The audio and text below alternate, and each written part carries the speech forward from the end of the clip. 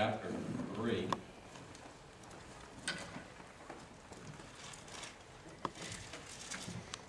While you're turning there, I'd just like to remind you, a couple uh, Wednesday nights ago, I uh, brought out this sheet that uh, uh, brought a message based on the, on this sheet. It's uh, uh, my goals for 2013. My goals for 2013, and it just has nine different goals that are important uh, for those of us who are children of God, those of us who are saved. Now, if you're not saved and you're not a child of God, these probably mean nothing to you. But these are some things that we uh, should do. I'm not talking about making a New Year's resolution. New Year's resolutions are made to be broken. Uh, most of the ones that I've ever made uh, have uh, uh, never uh, made it past the first month. But when I've made a determination, when I've gone to the Lord and I said, Lord, these are the things that I want to accomplish for you, I will guarantee you every uh, every year that uh, I've put these down, every year that I've set a goal, uh, I may not have reached every single one of them to the fullest extent uh, that I felt like I should have, but I've always accomplished something. Someone says if you aim at nothing, you'll hit it every time. And so if you have nothing to aim at, uh, you have nothing to accomplish. Uh, but if you have a goal, you set aside, hey, this is what I, I need to do for, uh, for my spirituality. We're not talking about uh, somebody else's spirituality, but for yourself. What is it? Uh, it's talking about prayer, Bible reading, Bible study, uh, church attendance, tithing, service, spirit, uh, being filled with the Spirit, a transformed life, thankful heart, uh, and soul winning. Those nine things right there, if you will make a determination. Now, there's a copy of this paper. Most of everybody that was here on that, that evening that I, I brought this message uh, took one of these. Some of them took one for themselves and uh, one for their wives or uh, one for their family, other family member, whatever. Uh, but they're laying on the table in the foyer, and uh, you're welcome to get one. Uh, tomorrow is New Year's Eve. Tuesday is New Year's Day, and that'd be a good time to set these goals to start determine this is what I'm going to do for God in 2013. Like I said, if you don't set any goals, you're not going to do anything, and you're going to finish 2013 just like you finished 2012.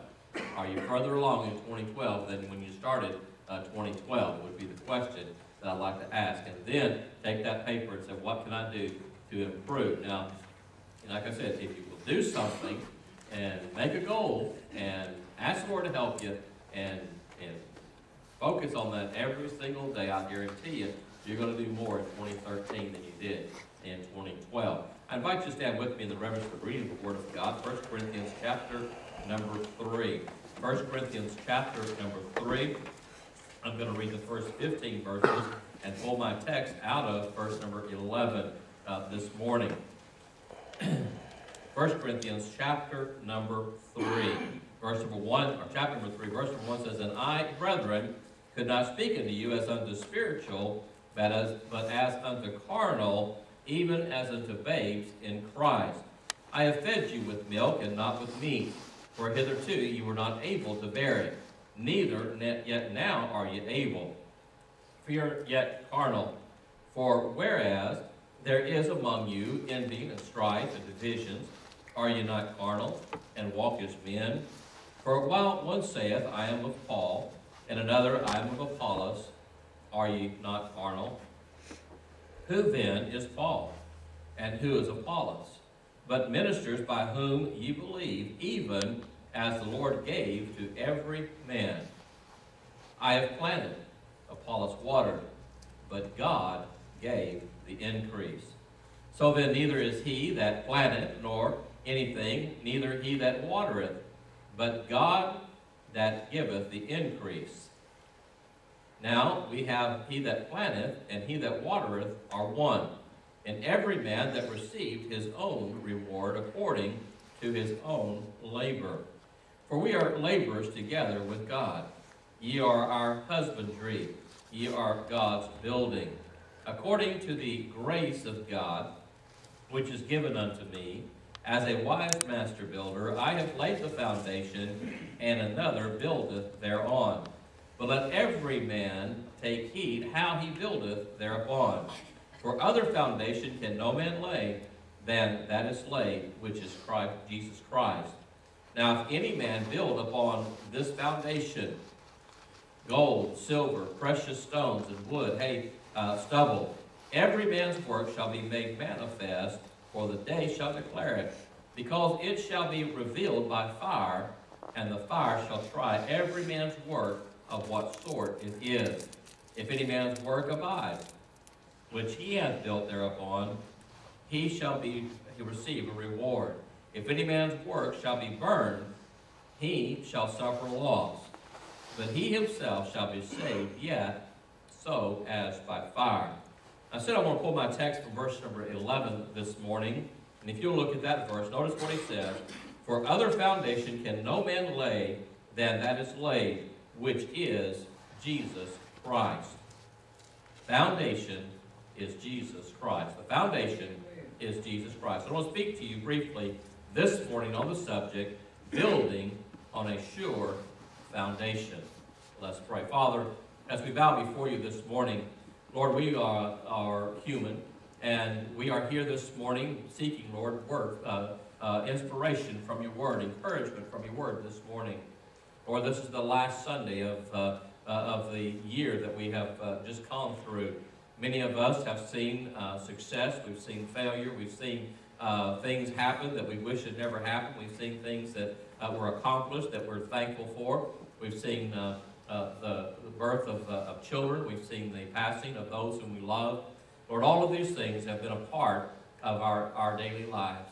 And so, Father, I pray this morning that as we embark upon a new year, as we get ready to launch into a uh, into a clean slate, into a, a year that has not yet been lived, into a day that has not been uh, uh, etched upon yet. Lord, I pray that you help us to, to build on the foundation of Jesus Christ this year. Help us, Lord, to look, Lord, for things in our own life that would help us to build on that right foundation. Give us the strength that we need, for it's in Jesus' name we pray. Amen. Thank you. You may be seated as we uh, gone through uh, 2012, there were three times that I personally remember uh, that uh, we have looked for doom and gloom or destruction. Uh, remember, on May the 21st of 2012, uh, Harold Campings had, uh, had promoted that the rapture was going to take place and everybody was going to be raptured out and, and uh, this world was going to go be uh, launched into a, a, destructive cycle of the tribulation period of time. And, and so everybody waited with bated breath. Those of us who were fundamentalists that believed the Bible knew that he was a little off of his rocker. We, we knew that, that he had uh, uh, forecast these, uh, these uh, uh, raptures to take place in previous years and had missed the mark every single time. And of course, I reminded uh, our congregation on the following Sunday that uh, Harold Campings uh, was an idiot, not in those words, but uh, try to be kind about it. But why, why did Harold Campings make a mistake? Because we do not know the day nor the hour. Matthew 26, uh, or 25, 30 says, No man knows the day nor the hour that our Lord doth come. No man knows that time. But we waited for that and we made joke about it and we, we made quips about it and we, we read different uh, uh, little anecdotes and things all about that. And we waited for May the 21st and of course it came and went and we were still here. And then, of course, uh, Harold Campings wouldn't let that lie. Uh, Wesley said, oh, I, I missed it. I, I, made a mistake and uh, began to just really pervert uh, the Word of God and say it was October the 21st. October the 21st is D-Day. That is the day, and uh, the 21st of May was when the rapture literally took place. Those that uh, were left, now there's no chance that anybody else could be saved. And he even quit uh, televising any kind of gospel message on, the, on his radio program. Uh, all he would play was his gospel music and what have you. And uh, of course, October 21st came and went, and we're still here. And then, of course, everybody got all up in arms about the Mayan calendar and the ending of the uh, of uh, 2012 and, and what all of those ramifications were and what happened. And the Mayans had to know. Somebody posted, I think, on Facebook or uh, internet somewhere and says, you know, uh, if the Mayans knew when it was going to end, you know, they, they, they ended a whole lot longer or a lot sooner uh, than their calendar ended. There's no Mayans. And so anyway, uh, but we waited for December the 21st, and of course, we're still here. Well, what does that tell us? Well, number one, it tells us that we don't know the day nor the hour. It, it tells us that no man can, can clue in as to a specific time. Jesus said he didn't even know the specific time that the Lord would come. The angels in heaven don't know. Jesus himself doesn't know. That's reserved uh, in, in the very mindset of God uh, to send uh, forth his son Jesus Christ to rapture the church. That's in God's mind. It has nothing to do with what we could do. We could sit there and figure out, and we could go through numerologies, and we could go through uh, what happened, and you know, this happened in a 6,000 year period of time, and this happened in a 2,000 year period of time, and this happened in 7,000 years, and, and, and all these things, and, and we could try to figure it all out, but why? But why? It's just a waste of energy. It's a waste of time when the thing that we are supposed to be focused on is serving God.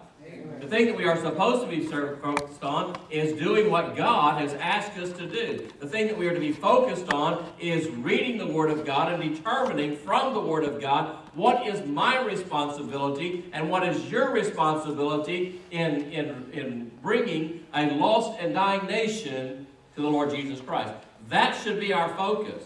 But we've lost focus in everything. As I was thinking about this message, I thought about, uh, I had some questions that came up. If the Lord had come on May the 21st, or October the 21st, or December the 21st, and you met the Lord face to face, would you have been happy?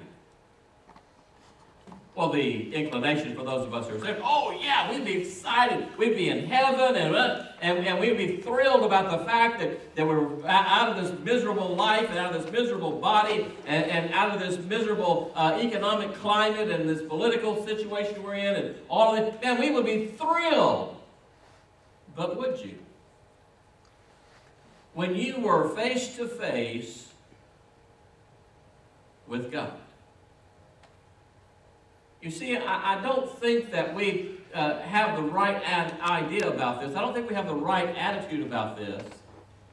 Yes, we would be removed from this world, but there is a coming judgment for those of us who are saved. It's called the Bema seat judgment. It's the, the not the white throne judgment that he talks about in Revelation chapter number 20, where those who are unsaved are going to be judged by God. Uh, they're, they're going to be judged by their works according uh, to their works, and then uh, they'll turn to the second book, the book of life. Their name is not written there. And Jesus will say, Depart from me, a worker of iniquity. I never knew you. and so there's the, uh, the, the white throne judgment. But those of us that are saved are going to go through a what is called the Bema seat judgment. This is a, a judgment where uh, we, we will receive the awards for the service that we have given to God. It's, a, it's going to take place in heaven. While the tribulation period of time is going here on the earth, those of us who are saved will be raptured out will go through this Bema seat judgment. Now, it's not a judgment for our sin because our sin has already been judged.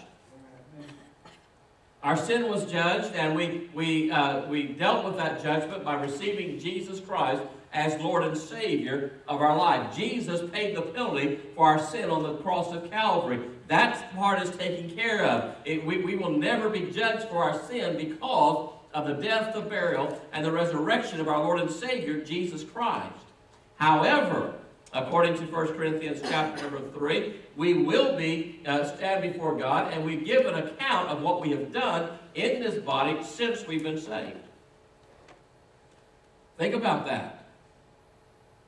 Notice that in, in the Word of God that we will stand and we will be bring to Him the what we have built upon in our Christian life. Our gold, our silver, our precious stones, our wood, our hay, our stone, everything is going to be brought before God, not our sin, but our actions, our motivations, the things that we've done since we've been saved.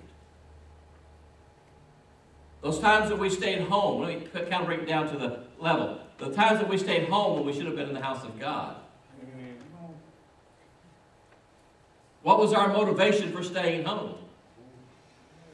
Was it to play Angry Birds because I was so addicted to that? That's all I could do is sit there on my phone or on my iPad or on my computer and play Angry Birds, whatever that is. I don't know what Angry Birds are, but I've heard people stay home because of it. or because a, a, a, a, a certain uh, uh, team is playing on, on TV.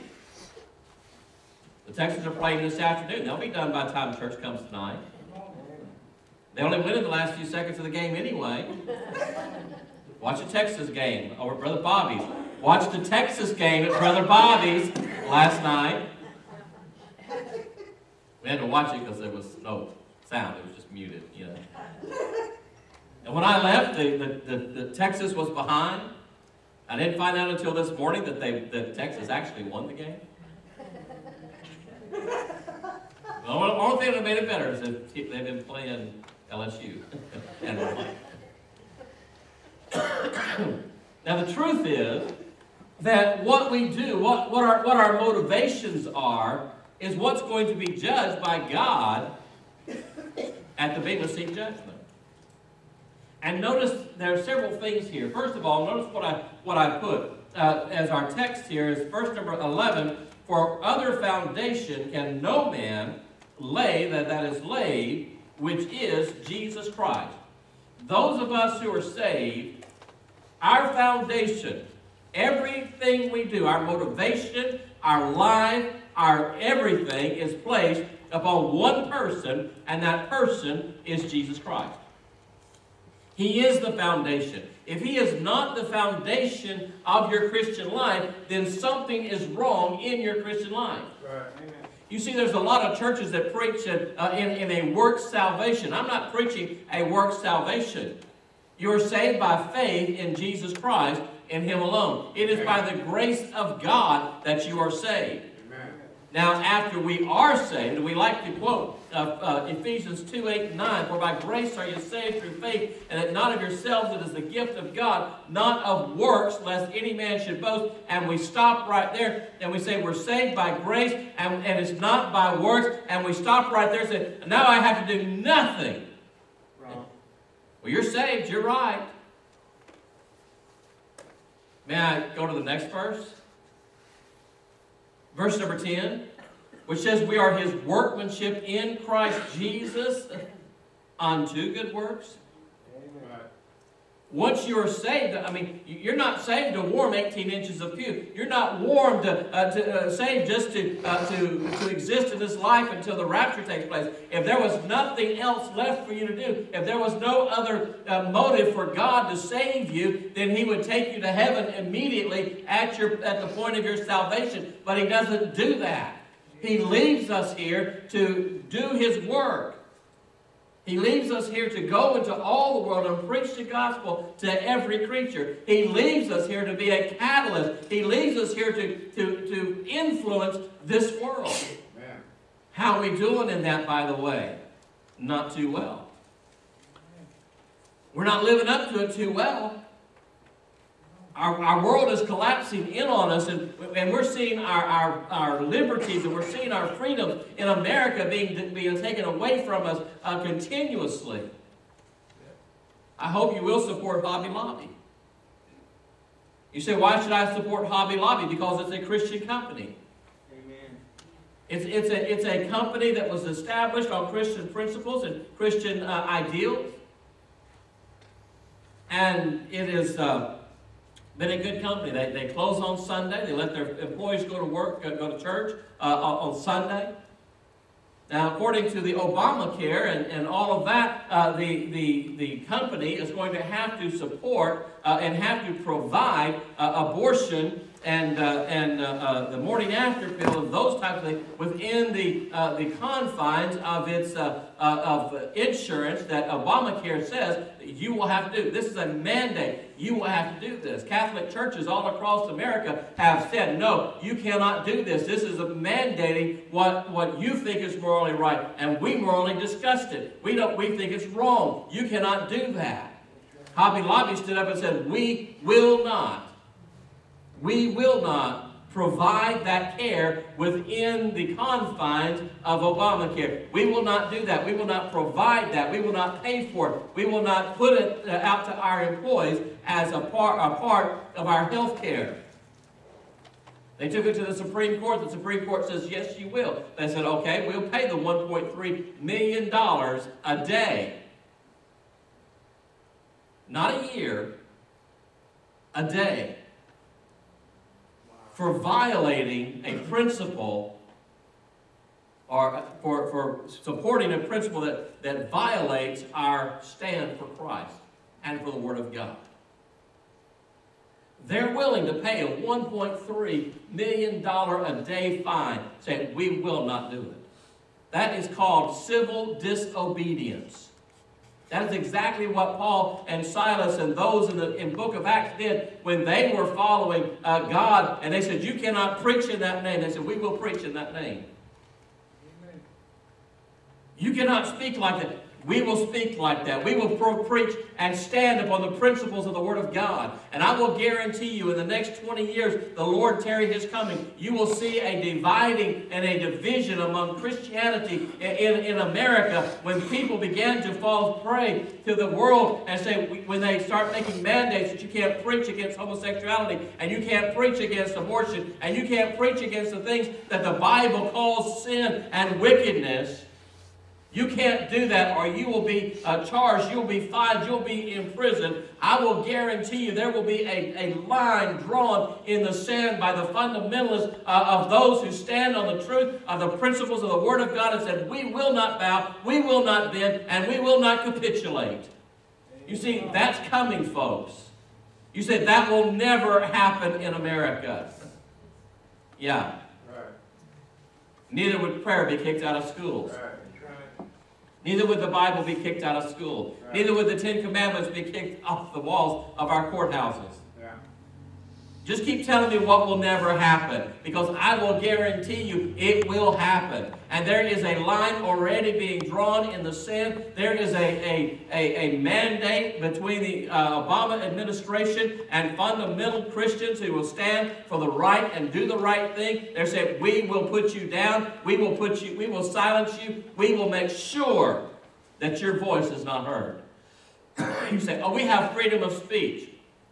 How's that working for you? How's that working? Now, there's several things here I want you to see. Number one, first of all, I want, to, I want you to see that every man shall receive his own reward. Look, if you will, at verse number 8. Now he that planteth and he that watereth is, are one, and every man shall receive his own reward according to his own labor. Folks, your reward is not coming based upon what I tell you to do. It's on your own labor. Right. Amen. You're going to stand before God face to face according to what you have done in your life, not according to what I have done. I'm going to stand before God for what I preached. I'm going to stand before God of what I taught. See, I have a higher responsibility because of being a pastor of a church I'm going to stand before God and give an account for every message that I preach, for everything that I utter, whether it be true, whether it be right, whether it be for my own glory, for my own honor, for whatever. God, I will stand before God, a part of that, but you will stand before God individually for what you've done in all of your work, in all of your labor. Notice that. What foundation are you building on? Are you building on Jesus Christ? Is the labor that you're working, the work that you're doing, is it built upon the purpose of, of, of uh, promoting and encouraging the things of God, or is it encouraging and promoting yourself? That's what the judgment's going to be. That's where you're going to stand. You're going to stand before God, and He's going to ask you some very tough questions, and you're going to have to give a very detailed answer as to what you believe. Sometimes the kids at school get in trouble and they, they bring them into the office and, and you sit them down across from you and you say, Now, son, did you do this? I don't know. Why'd you do that? I don't know. I always tell them, I don't know is not an answer. I don't know is not an answer because you know why you did it. It didn't just happen. You didn't just just just all of a sudden just do it. You had to think about it. You had to premeditate. You had to think upon these things. And you have to make a decision. What are you going to do? How are you going to do it? Everything, every, everything you do, every man, every boy, every girl, every man, every woman is going to stand before God in, in his life and give an account. Notice that. He says, For we are laborers together with God. You see, you and I are laborers together. My responsibility is to motivate you to get up and get out and do something. But that's all I can do is motivate. I can't come to your house and drag you out of bed. I can't come to your house and, and, and, with, uh, and force you uh, to go out soul winning. I can't come to your house and force you to read your Bible. I can't come to your house and force you to pray. You've got to do that all on your own. That's why I put out that list. Here's nine things that we should do in, 20, in 2013 that will help us live for God. Help us to build on that right foundation. What is the foundation? Jesus Christ. Let's do everything for Him. Amen. He says every man's going to stand before God. We're going to receive for the labor that we've done. Notice, if you will, uh, secondly, verse number 10 that every man take heed how he buildeth thereon. Look at verse 10. According to the grace of God, which is given unto me as a wise master builder, I have laid the foundation, and another buildeth thereon. But let every man take heed how he buildeth thereon. How are you going to build on that foundation? What, what, what, what are you going to put on that foundation? Is that foundation going to last? Is it going to endure the storms of life? Remember, Jesus told the story in Matthew chapter 7? He said, The wise man built his house upon the rock. And the storms came, the floods came and, and descended, and, and the house stood firm. Why? Because it was builded upon the rock. The foolish man built his house on the sand. Two different foundations, a, a, solid foundation or a weak and, and floundering foundation. In the one that built his house on the sand, the floods came, the, the, the, rains descended, the winds blew, and the, and the foundation was destroyed, and the house became, became not one because it wasn't builded on the right foundation. What foundation are you building on? When you go to the doctor next year and the doctor says, I'm sorry to tell you, but you have terminal cancer and you're going to die, what foundation are you going to have to stand on when, when you get that news? When, when, when, the, when, when the, the, the, police officer comes to your door and knocks on the door and says you, you have, uh, your child has been arrested and, and, and charged with murder, what foundation are you going to have to build upon? You see, your foundation is what is, is going to stand you and support you in the time of your trouble, in the time of your difficulty. Too many of us flippantly say, well, you know how God is. Yeah, I know how God is. He's an austere God. He's a God of judgment. But he's also a loving and compassionate God. We need to understand that God loves us and God, but He also wants us to serve Him. He wants us to honor Him. He wants us to give Him of our lives. The only foundation that we have is Jesus Christ. How many times have I gone to the funeral home and, and, and watched a family that has, that, have, that has no God? They have a, a semblance of religiosity. They believe in God, but they've never served God.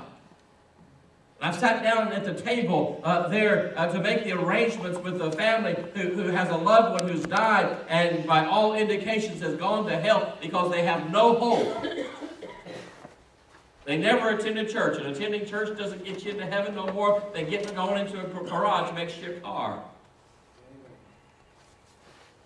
They, they, they don't read the Bible. They don't have a favorite verse that can be pulled out. They, they never prayed. They never did anything uh, as far as that, but they believed in God. I believe in George Washington too.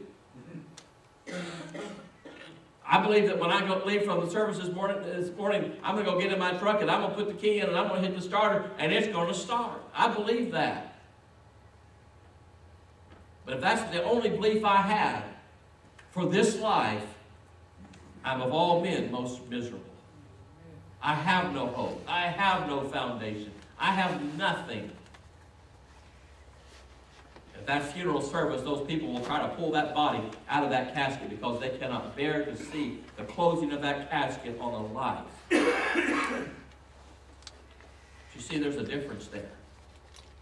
I've been to a funeral service where, where there's been a loved one that's loved God and served God and honored God. I mean, they can sit there and tell you all kinds of stories of how God has been an integral part of their lives. And there's hope, and there's joy, and there's peace to come. You see, there, there, there's, there's the, there's the foundation. Where is your foundation? If your foundation is in a, in a Sunday morning religion, then you've lost your foundation somewhere.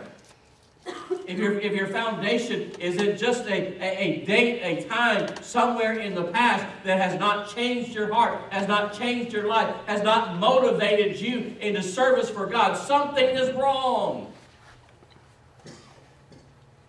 Something is wrong.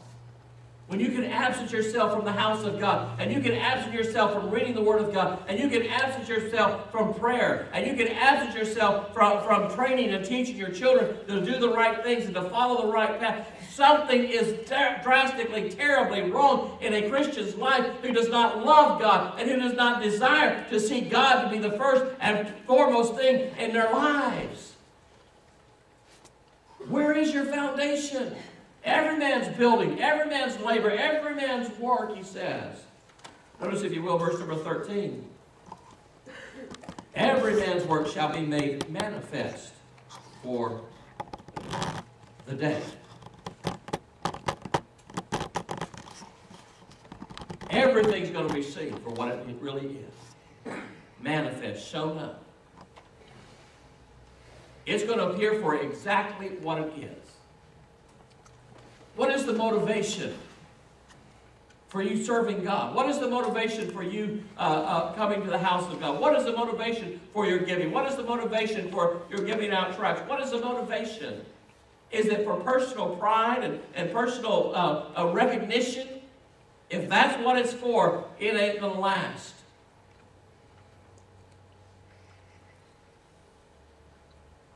You ever heard the, the, the saying, flattery gets you nowhere? You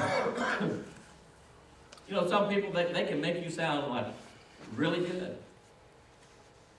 They can pat you on the back, and they can stroke your ego. And we say, well, I don't, I don't like flattery. Everybody likes their ego stroked. Everybody likes that. We all like to hear, attaboy, good job. But if that is your motivation is to get the praise of men, you've lost it. You've lost it. You see, the problem in our society is that we, we like the attaboys and we like the praise and we like all of that. But he said every man's work is going to be manifest for what it is. For the day shall declare it, because it shall be revealed by fire and the fire shall try every man's work of what sort it is. In the previous verse, he talks about the, uh, uh, about the works. Gold, silver, precious stone, wood, hay, and stubble. Which one of what, what, which one of those commodities that he's listed there are going to endure the fires uh, of the trial and the test? You say, well, the gold, silver, and the precious stone, those are going to, those are to endure. See, fire purifies gold, and fire purifies silver, and fire purifies the, the, the precious stones.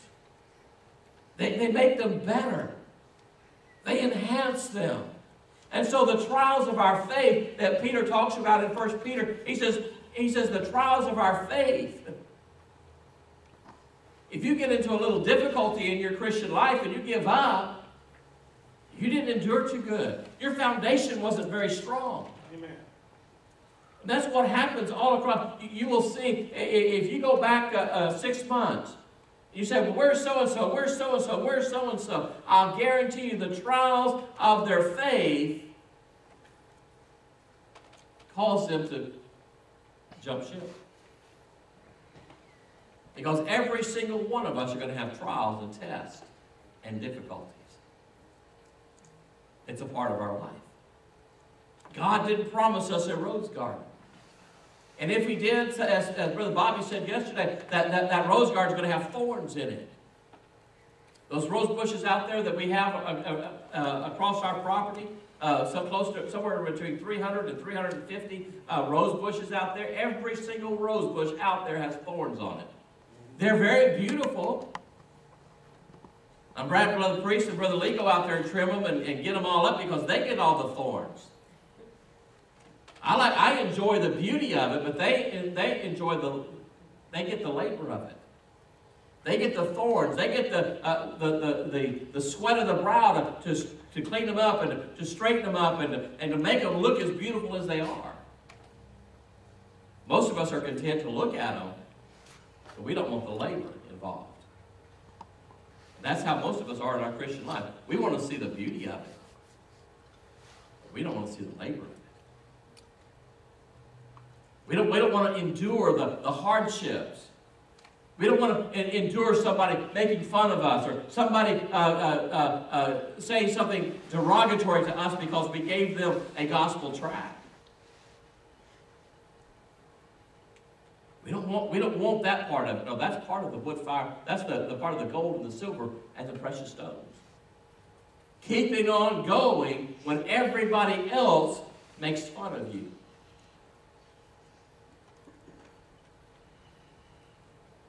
I have a friend of mine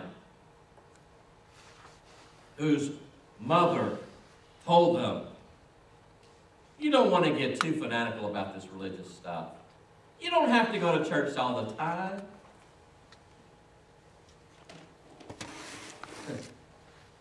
What am I supposed to do? Forsake not the assembling of ourselves together as the manner of some. That's it. That's a command from the Word of God. They called me and said, you know, this is what my mother said. I'm saying, you know, well, I'm sorry your mother feels that way, but to serve God anyway. How come you can't come to our, our, our family reunion because you're serving alcohol? Well, what's a little alcohol? The Bible tells me that there's a sin against providing alcohol to my neighbors. You're calling us wicked sinners because we have alcohol? Just saying, that's what the Bible says. I'm not saying that. I got to miss church on Sunday. Well, don't you love us? Yeah, I love you. Can't we do this on Saturday? Why do we have to do it during church time? Why do we have to? Because that's when everybody else has time. So you take God's time rather than using your own time. You see, wood hates stone. See, all of that's good. You're going to stand before God with one of that, that one of these days, and you're going to go, "Well, God, you know, my mommy said that, that because uh, I, I, I wasn't a part of the family because I, I wouldn't come and they were selling alcohol or serving alcohol, and, and so it's my mommy's fault. It's really not my fault, God. It's just it's just her fault. I just, yeah, that's gone. Or not. Because those are excuses that we use. When you endure that, because I guarantee you one of these days, that same mama that told that, that child, don't go be too fanatical, is going to call that child and say, hey, I need prayer. You, you, you, don't call people who you know don't pray to pray for you. Uh, you call the people that you know are going to get in contact with God. You see, don't, don't, don't let them shame you into doing what is wrong because you know to do what's right. You're going to stand before God. Where is your foundation? Your foundation ought to be in God. in the Lord Jesus Christ. That's the foundation. And everything else is built upon that. And if you build that with the strong, the gold, the silver, the precious stone, I will guarantee you it will, it, it will endure the storms of life and the trials and the tests. But when you see it all burn up, you know it didn't last. Continuing on, notice what he says in verse 13 The fire shall try every man's work according to what sort it is. If any man's work abide, which he hath built thereupon, he shall receive a reward. Well, Brother Lamb, you saying if I just serve God that, that I'm going to get a reward and I should do it for the reward's sake? You know, I really don't know people that are serving God that are really looking for a reward. I really don't. Most, most men of God that I've seen serving God and, and giving their life and hazarding their life for the gospel's sake are doing it because of love. Not constraint. Not because I have to, because I want to. See, there's a difference. When you have, when, you, when you're out in the, in the middle of the, of the ocean or the lake, and you're drowning, and there's no hope, and you've gone down for the third time, and you resign yourself to death, and somebody reaches down and, and, and lifts you out of that water and puts you in the safety of a boat, and administers CPR, and brings you back to life, what is your attitude towards that individual? What is your attitude? You're faithful, aren't you? I mean, you, you, you, want to you, you want to give them a Christmas gift at Christmas time, and you want to send them a, a Valentine's gift, and you want to send them a, a Thanksgiving gift, and, and, you just want to call them and thank them for saving your life every single day. Why is it that we would thank somebody, some human being, for saving our life when, when, when Jesus Christ lifted us up out of the miry clay and set our feet on the rock and established our going, put a new song in our and praise into our God? Why would we want to do anything but praise Him and honor Him and serve Him? We treat him like last week's news. Yeah. We treat him like nothing at all. Somebody says, well, if you were to die today, you're going, oh yeah, I'm going to heaven.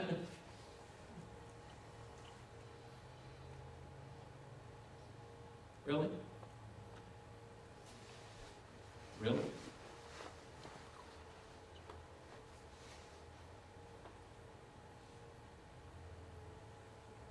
How is it? And Paul puts it into perspective. Says, I'm dealing with you as babes,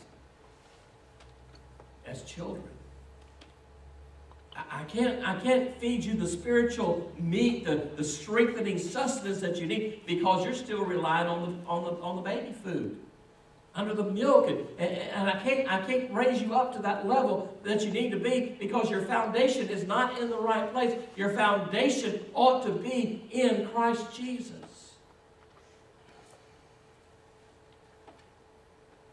Building on the right, sure foundation. What foundation are you building on? We built this building if I'm not mistaken, there's 38 eight-foot piers underneath this building. 38 of them. There's a four-foot beam, concrete beam, that runs all the way around the perimeter and through the center and, and, and section this building off that's sitting upon those piers, holding this foundation sure. This foundation is not going anywhere. You say, well, if there's an earthquake, it's going to move. Yeah, it might move there's an earthquake. I think the building might move, but I don't know if the foundation is going to go anywhere. Before they put the carpet down and before I, they, they, they uh, uh, put the tile down, You would walk across this, and, and there'd be little fissures, little little pieces, little, little like little cracks all through the. You go, it's cracked. Now, those are stress cracks. They're just little fissures. They're, I mean, they're not. You can't even. You can see them in the cement, but you can't really feel them. That don't change the strength of this foundation. And the fact that Jesus Christ died on the cross of Calvary does not change the strength of the foundation. It only enhances it. It only builds it. You see, because the fires of hell could not quench the salvation that was bought on the cross of Calvary by Jesus Christ, the Son. That foundation is sure. Let's stay on that foundation. Let's make sure that it doesn't wash away. Let's make sure that, it, that, that it's going to stand. When we built this building, they, they, they made us raise it up, I believe it was nine inches. It was already above Garth Road. They were afraid of flooding. I said, we're going to be the church on the hill. It's the only hill in Baytown. But they made us raise it nine inches so that, but they're going to come in, in the next in the next year, so they're going to come and they're going to widen Garth Road out to four lanes or five lanes. Praise God. And they're going to cut it down like they did down here on the other side of Wallisville. They're going to cut it down three feet. So we're really going to be on the hill. What was the purpose of, of, of they said, in case it floods. We are not even in a floodplain.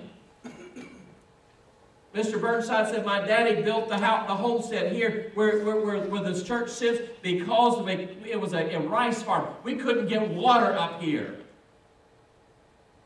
If you can't get water to a rice field, it's useless. So build a house there because you're not going to get water there to get flooded.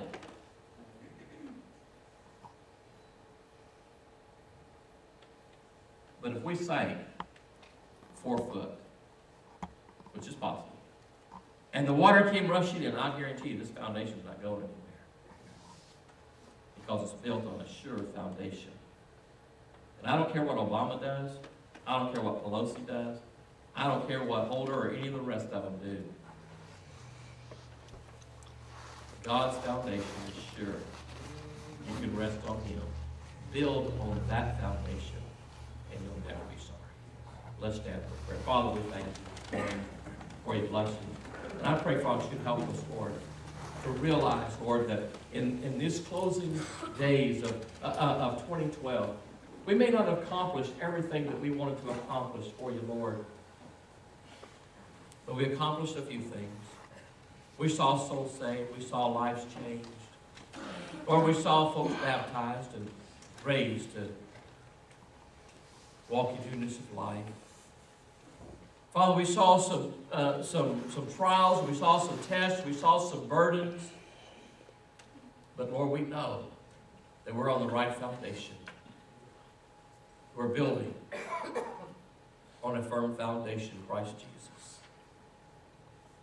As we embark upon 2013, Lord, I pray that you'd help us to maintain and continuously build on that foundation. Help us to grow spiritually. Help us to grow numerically. And help us to grow, Lord, in the grace and knowledge of our Lord and Savior, Jesus Christ. Father, speak to our hearts as our prayer in Jesus' name with our heads bowed and our eyes closed no one looking around.